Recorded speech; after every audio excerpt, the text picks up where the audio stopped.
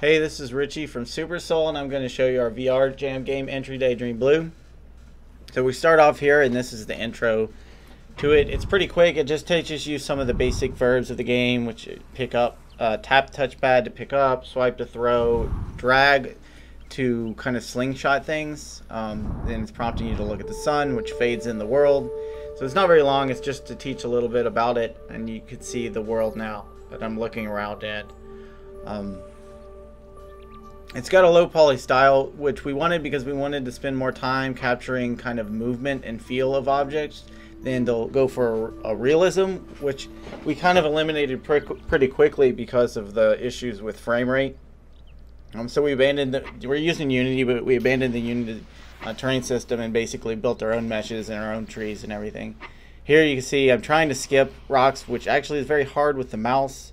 It's a lot easier with a swipe motion in the, the game. And here I am um, casting out the fish. So we've got a number of different activities around the campsite for the player to explore. And the way we set it up, we really like it because it's uh, it's kind of modular. So I think it could scale well.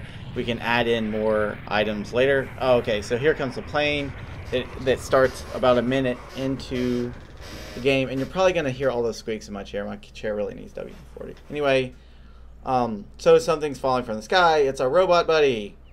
So we need to work on that particle effect graphic. But the box falls, and I think I'm going to go ahead and go back over there. There's also another bug, which is supposed to pop out. Instead, it drives out of the box. Um, so here it is. You can see some prompts, which is uh, how to control it. And I'm going to play fetch for a little bit with my robot buddy. We actually, we're using uh, Pocket Sphinx to do voice commands.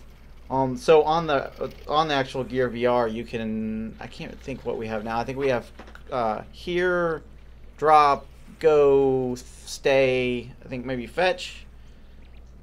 A number of different functions to actually you can tell the dog what to do. Or sorry, robot. I keep saying dog because originally we had a dog in there, we abandoned the dog because we were worried that we are going to spend too much time trying to get it to feel or look right with its animations and less time with the behavior and, and how we wanted to relate to our creature.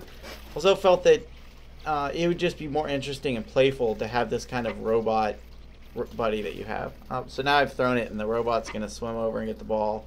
And I was trying to skip some more rocks at it, but it didn't really work. Now I'm going to go back to the fishing pole. So one of the things we like to do this week before the end, aside from polish and, and play testing, is to get a little bit of a feel for how we imagine the game would go forward. Um, so we have this modular ability to add places to go in the world and things to do. What we'd like to do is kind of create a game loop out of that where players can play these different games in the world, either with their robot or say fishing. Oh yeah, I'm trying to catch a fire. We can't cook the fish right now. And here is um, another golf game. So you play these games. Oh, and the robot's kind of stupid right now, so it just drove directly through the fire, knocked out the wood. Um, it's it's not the brightest at the moment.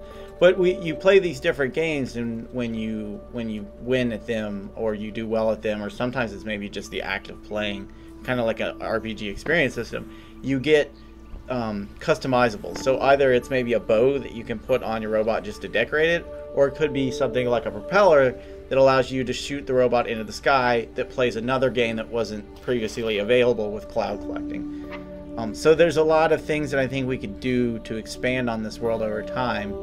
Here I'm just going, so we also want the player to be able to kind of choose how much they want to spend um, you know, how much time they want to spend doing a given task or, or be in the world or what they want to do there. Sometimes you just want to chill out. So this is an example of the raft where it prompts you to lie down and you kind of just lay there and take in the world and the music and the sounds uh, and don't really have to play any games or anything.